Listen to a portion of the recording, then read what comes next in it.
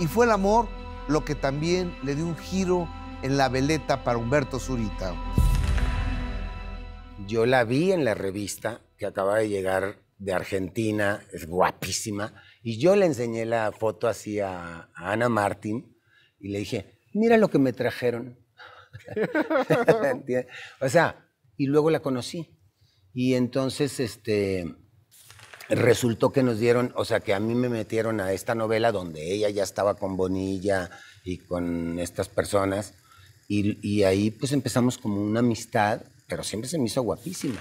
Y bueno, yo pienso que de esa amistad empezó a nacer un cariño diferente, se fue transformando y llegó una etapa, ella tenía su pareja, yo tenía la mía, este, y en un momento dado ella dejó de tener pareja y como medio año después yo dejé de tener la mía y dije... pues, Rebeca, ¿era tu novia en aquel entonces, no? ¿O no? sí, La señora Jones, aquí le mando un saludo. saludos.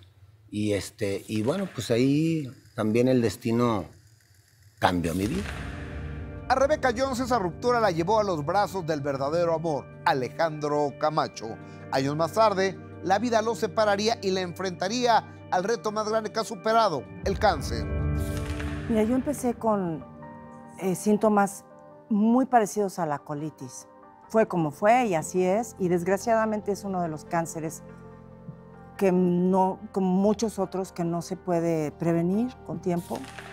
Digamos que sí se hubiera podido prevenir el tamaño cuando yo fui.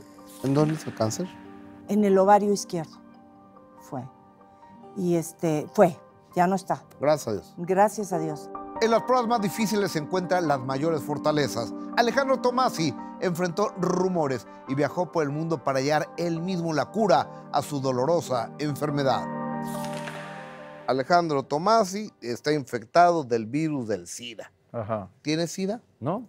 Alejandro Tomasi es drogadicto, cocainómano. No, yo ya presenté mis pruebas toxicológicas al día siguiente que salió todo eso, me fui a sacar pruebas y lo presenté ante el Ministerio Público. Yo Alejandro no puedo Tomasi tomar ni me puedo drogar porque tengo fue, el hígado fue a la cárcel porque sembraba marihuana en su casa. Eso es una historia que, voy, que estoy escribiendo para una película. Yo tenía hepatitis C, que eso, de eso murió mi madre. No existía medicamento, para que le quede claro al público también, porque en las revistas dijeron muchas cosas que no son ciertas. Eh, mi padre murió del hígado, mi madre murió del hígado. y yo Hepatitis de hepatitis C. Que, que es súper agresiva, entiendo, ¿no? Es más agresiva que el cáncer, porque no había incluso el medicamento. Entonces, ahora no voy a, no voy a, a- entrar en detalles que he estudiado muchísimo de dónde viene el medicamento, pero este medicamento es natural.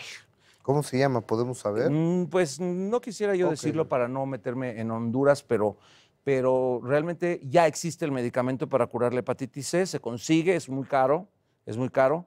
Yo lo pude conseguir a un precio muchísimo más económico porque busqué en todo el mundo y el, el- el- el- el medicamento son 24 semanas de tratamiento. A mí la, la doctora me dijo, tú tienes principios de cáncer porque tú tienes ya células malignas en el hígado porque la hepatitis C ya se está haciendo, ya está fibroso.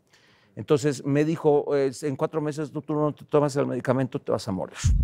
Y si alguien sabe del daño que. El minuto que cambió mi destino. Sábados 9 pm. Participa en Imagen Televisión.